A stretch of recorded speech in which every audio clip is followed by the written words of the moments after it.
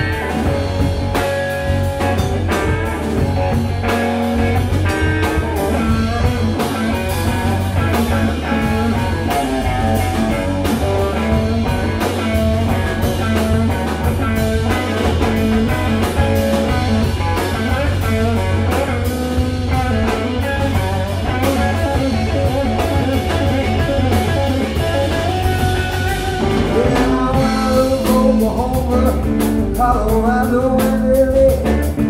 I spend my time in North Carolina, St. Louis and I'm man that river wide, cutting loose, a